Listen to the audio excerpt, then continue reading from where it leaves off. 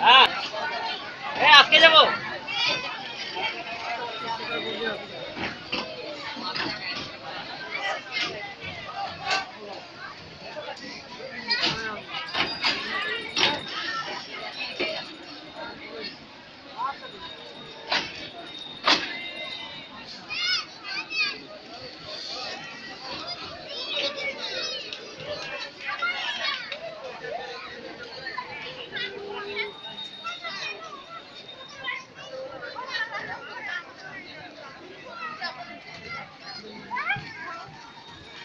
কই প্লাস্টিক কই আমার তো ভাতের চাল শেষ হয়ে গেছে।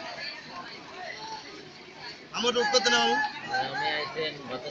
ওইটা দিয়ে আসলাম। ওইটা আসলাম